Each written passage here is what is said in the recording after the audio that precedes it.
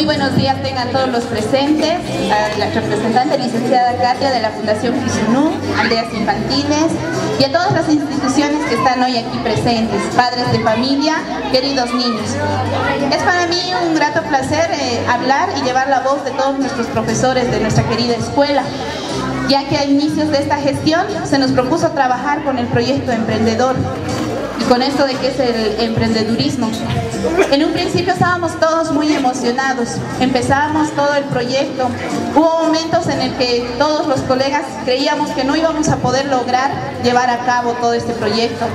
Se nos hacía un poco complicado ya que era algo nuevo para nosotros. Al pasar el tiempo vimos que como equipo como un buen equipo de amigos, compañeros de trabajo, lo podemos lograr. Es así que hoy vemos el fruto de, los sueños, del trabajo realizado por nuestros estudiantes. Nuestros niños llevaron a cabo sus sueños, tuvieron que trabajar mucho, hay diferentes sueños que se han llevado a cabo. Y agradecer también a aquellas empresas que nos han aportado con todo, con todo el esfuerzo, qué sé yo, los niños han trabajado bastante, han, han ido a empresas, a lugares a pedir apoyo para llevar a cabo sus sueños. Nosotros les decimos muchísimas gracias.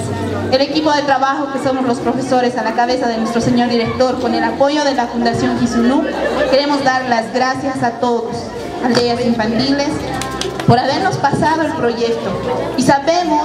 Ya este año hemos empezado, y con la experiencia que ahora hemos adquirido, al año lo vamos a hacer mucho mejor.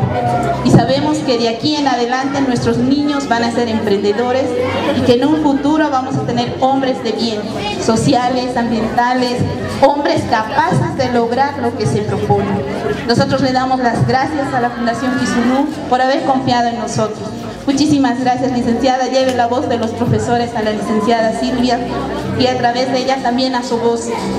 Nosotros le agradecemos. Muchísimas gracias a todos.